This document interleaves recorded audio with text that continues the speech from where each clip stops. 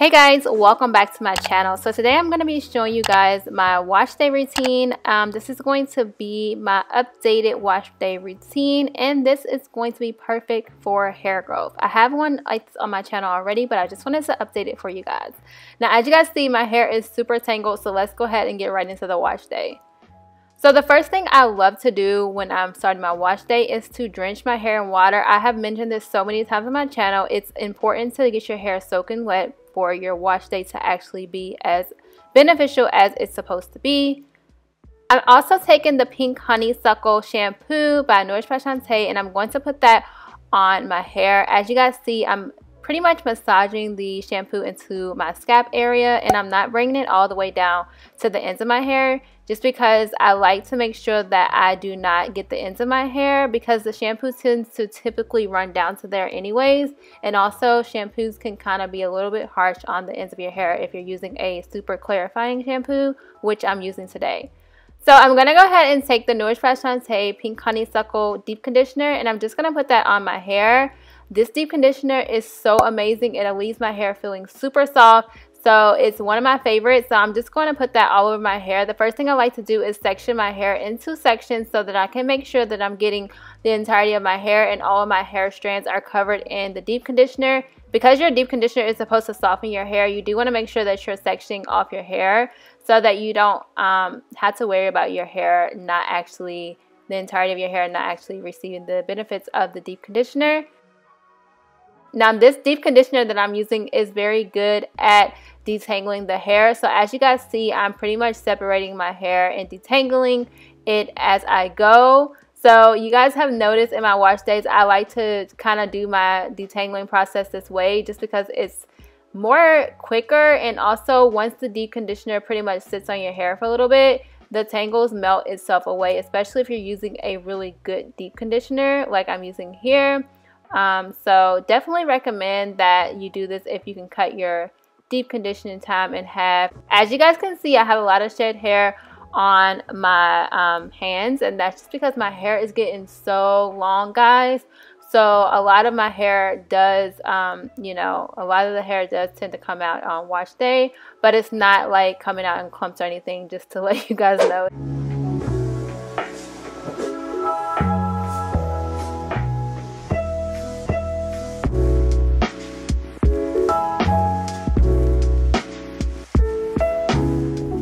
Alright, so I'm to allow my hair to sit and this deep conditioner to pretty much sit in my hair for about 15 minutes. You can do a longer deep condition if you want to do a more deeper deep conditioner.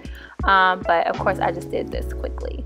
So I washed that out of my hair and now we're to move on to the next step in my growth routine. So my original growth routine for washing my hair I actually use aloe vera on this step, but I didn't have aloe vera in the kitchen. And here comes Naraya. She's like making me laugh while I'm washing my hair. But I didn't have aloe vera while I was doing my actual wash day. So I said, okay, I'm going to get Manuka honey and put it in my hair. Well, I put Manuka honey and turmeric in the mix. And I didn't really like it for my hair because it did leave a lot of um, like pieces in my hair. And also just didn't work as good as aloe vera does and it didn't bring as much shine surprisingly as aloe vera does. So I recommend that if you're going to do that step you would replace it with aloe vera as I normally do.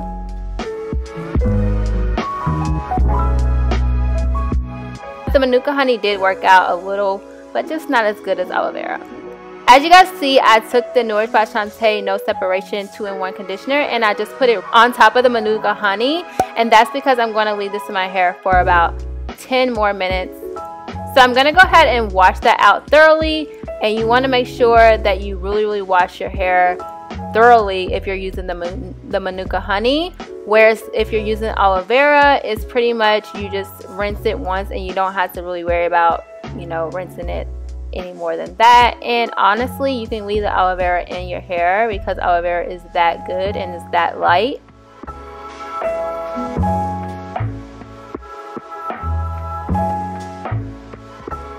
So I'm just taking the conditioner and I'm just pretty much putting it all over my hair strands because I want to make sure that that conditioner really gets on my hair strands because of the fact that I am going to leave this conditioner on as a leave-in.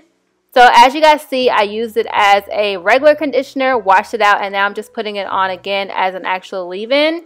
So some people may want to just put the conditioner on and then leave a little bit in as a leave-in. But since I'm going to be ending up using this as an actual styler, I'm actually going to go in with the conditioner and put it all over my hair strands. Since this conditioner actually has exotic ingredients geared especially to hair growth, I'm actually putting it on my hair and I'm going to really leave it on and allow it to be kind of like my styler because I wanted to really reap the benefits of this conditioner since there's so many great um, you know, ingredients in the conditioner, which are extremely high in antioxidants and also packed with vitamins.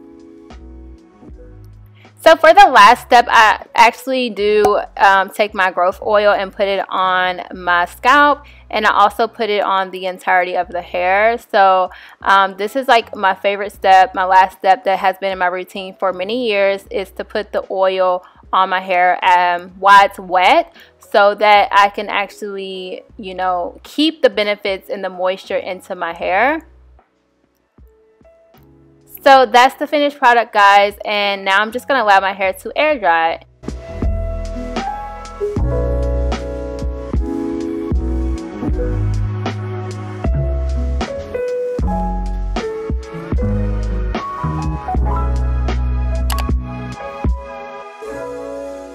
So this is my hair. I actually um, waited a day before I showed you guys kind of like the finished product.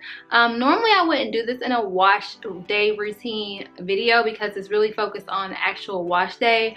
But guys, I wanted to show you because I got super, super lazy when getting out of the shower and I did not feel like doing like a whole entire wash and go process which is like me actually putting on a cream and you know sectioning my hair and all that stuff i just did not want to do that so I showed you guys that I leave in the Angelic Cocoa No Separation 2-in-1 conditioner. Um, I actually left that in and I showed you guys in this video right here where I actually used that as a actual styler. So I was like, okay, let me try that again.